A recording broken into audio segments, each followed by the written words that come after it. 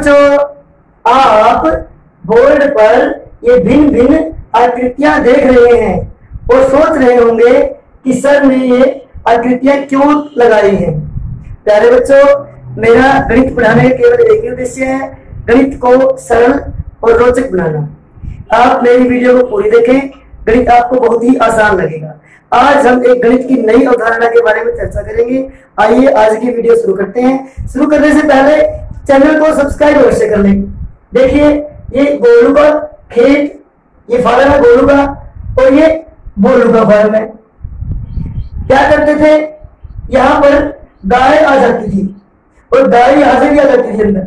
तो गाय आके इसकी खेती को खराब कर देती थी बच्चों। तो गोलू ने क्या किया? गोलू ने अपने खेत के चारों ओर ये बाढ़ लगवाई। उसने चारों तरफ़ ये कांटेदार तार लगाई। और भोलू ने भी कांटेदार तार लगाई।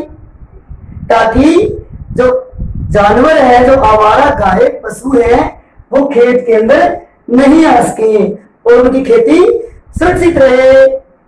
बच्चों, देखो ये हर्ष, ये देखो दो चित्र पहले मैंने। इनमें क्या अंतर है? यहाँ पर देखो मैंने सुंदर सा बोर्ड लगा दिया और इसमें नहीं लगाया। तो इन दोनों में इस बोर्ड का अंतर है बच्चों। तो आज हम आपको फ़ील्ड के बॉर्डर यानी कि खेत के चारों तरफ़ लगाए जाने वाले बाढ़, और इस बॉर्डर यानी कि इसका घेर बना दिया। इस घेर को हम क्या कहते हैं? इस घेर के बारे में ही हम पढ़ेंगे। तो आज का हमारा विषय है बच्चों, घेर। जिसे घेरा कहते हैं। घेरा क्या होता है ये? घेरा का मतलब है घेरा का अर्थ है कि हमने अपने खेत के चारों तरफ़ घेर बना दिया। यानी कि बाढ़ लगा दी, ये तार लगा दी।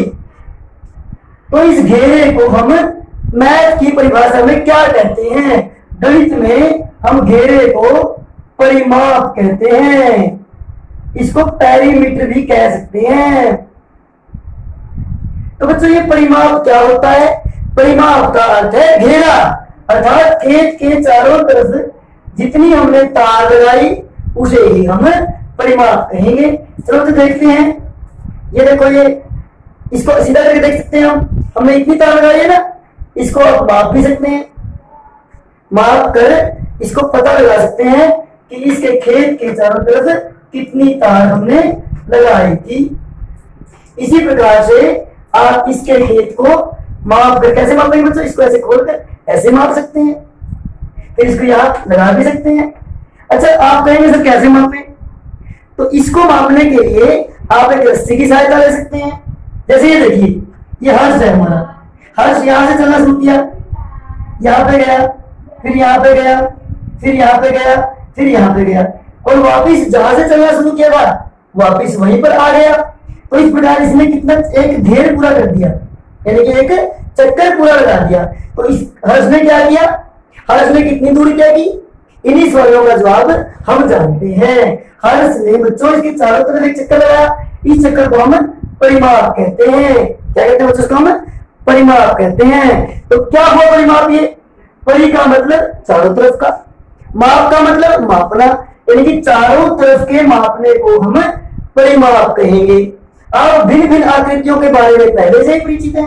ये देखिए, मैंने बोर्ड पर एक आकृति बनाई, जिसमें ये भुजा छह सेंटीमीटर ये दस सेंटीमीटर ये पाँच सेंटीमीटर और ये चार सेंटीमीटर है। तो इस आकृति का परिमाप या घेर कितना है बच्चों? ये यहाँ से चलना शुरू किया, पहले छह गया, फिर ये दस गया, छह और दस, सोलह, फिर ये पाँच गया, सोलह और पाँच, इक्कीस इक्कीस और चार, पच्चीस। तो इस आकृति का परिमाप कितना आ गया बच्चों? पच्चीस सेंटीमीटर। इस प्रकार से हम इसको माप कर, परिमाप ज्ञात कर सकते हैं। ये बड़ा आसान है। अच्छा बच्चों, और सवाल करते हैं, देखिए। चलिए, एक सवाल में और परिमाप क्या होता है? परिमाप की भाषा देख लेते हैं, परिभाषा देख लेते हैं एक बार। परिमाप का अर्थ हुआ, चारों तरफ़ का माप। उसे ही परिमाप हम कहते हैं। इंग्लिश में इसको पैरामीटर कहते हैं। चलिए, एक और सवाल उदाहरण के द्वारा समझते हैं इसको हम परिमाप को।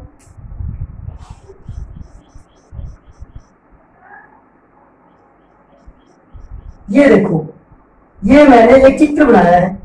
इसमें अच्छा इसमें कितने खाने हैं? एक, दो, तीन, चार। तो इस आकृति का परिमाप कैसे निकालेंगे? यहाँ से चलना शुरू किया, पहले यहाँ गया, फिर यहाँ गया फिर यहाँ गया, फिर यहाँ फिर यहाँ फिर यहाँ, ऐसे और ये, ऐसे और ये, ऐसे और ये, ऐसे। अब हमारे पास ये एक सेंटीमीटर था। सारे ही खानों की जो भुजा थी वो एक सेंटीमीटर थी। एक, दो, तीन, चार, पाँच छ सात, आठ, नौ, दस। तो इसका परिमाप कितना आ गया बच्चों? परिमाप बराबर है दस सेंटीमीटर क्योंकि तार उसने चारों तरफ़ को लगानी है। इसलिए परिमाप हम चारों तरफ़ का निकालेंगे। तो परिमाप निकालना अब आपको आ ही गया होगा। इस प्रकार से आप आकृतियों का परिमाप निकाल सकते हैं। चलिए देखते हैं, हम वर्ग का परिमाप कैसे निकालते हैं। आपके पास कुछ विशेष आकृतियाँ होती हैं। वर्ग और आयत। वर्ग क्या होती है? वर्ग को इंग्लिश स्केल कहते हैं। स्केल से आप जानते हैं, जिसकी चारों भुजाएँ बराबर होती हैं। ऐसी एक चतुर्भुज। ये इस प्रकार की जिसकी चारों भुजाएँ बराबर होती है, लेकिन मेरे हाथ में ये है। इस प्रकार की इसकी चारों भुजाएँ बराबर है। और ये कोण एल का है, यानी कि नब्बे डिग्री का कोण है। ये पिछले वीडियो में भी हम आपको बता चुके हैं। तो वहाँ से भी आप कर सकते हैं, और वर्ग में चारों भुजाएँ बराबर होती हैं। तो आज हम आपको वर्ग का परिमाप निकालना सिखाएँगे। देखो बच्चों, परिमाप कैसे निकलेगा वर्ग का? जैसे मैंने बताया, दिव्या यहाँ से चलती है। यहाँ से चलती है यहाँ चलती है, वापस यहाँ है इसमें ऐसे ही तो परिमाप निकलता है। तो दिव्या कितनी दूरी तय करेगी लिखेंगे, वर्ग की भुजा कितनी है बच्चों? भुजा उसकी 25 सेंटीमीटर। और परिमाप कैसे निकाल देंगे उसको दीर्घ के पच्चीस जमा पच्चीस जमा पच्चीस जमा पच्चीस। तो कितना आ गया बच्चों? पच्चीस पच्चीस, पचास पचास, सौ सेंटीमीटर। तो दिव्या ने एक चक्कर लगाने में कितनी दूरी तय की सौ सेंटीमीटर तो यही उसका परिमाप है। तो इस, अब ये देखो, ये एक दूसरा चित्र मैंने बनाया हुआ है। यहाँ पर ये भव्य है लड़की और इसकी भुजा कितनी है इस वर्ग की? बारह सेंटीमीटर। तो एक वर्ग ये है, दूसरा वर्ग ये भव्या ने भव्या ने कुल दूरी तय की। क्या है वो कुल तय की? उसका परिमाप। कितना बच्चा परिमाप? बारह जमा बारह जमा बारह जमा बारह। यानी कि बारह चार बार। बारह चार बार। तो आप जानते हैं कि बार बार जोड़ने को गुणा नहीं कर सकते हैं तो बारह गुना चार। तो इस प्रकार से आपके पास वर्ग का परिमाप आ जाएगा बारह बारह चौके अड़तालीस सेंटीमीटर।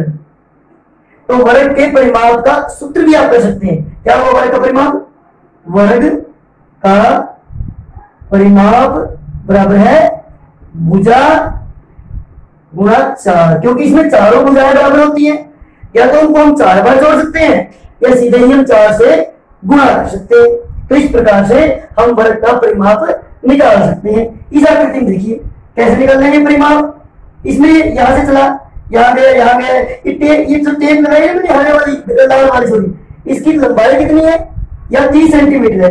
तीस ये चीजेगी फिर चार है ना ये। तो इसका निकालेंगे हर्ष को टेप की ज़रूरत पड़ेगी। टेप की ज़रूरत होगी। कितनी ज़रूरत होगी बच्चों उसको? इसका परिमाप निकालेंगे ना। क्योंकि टेप तो चारों तरफ़ निकाल लिया आपने। तो परिणाम क्या करेंगे तीस गुणा चार। सूत्र लिख देंगे पहले हम। भुजा गुणा चार। यानी कि भुजा तीस गुणा चार। यानी कि एक सौ बीस सेंटीमीटर। सेंटीमीटर को आप मीटर में बदल सकते हैं।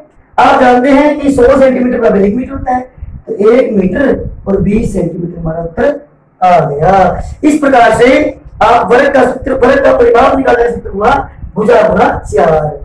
आप मेरे साथ मैथ पढ़ते रहिए। अगली वीडियो में हम आयत के परिभाव के बारे में चर्चा करेंगे। धन्यवाद।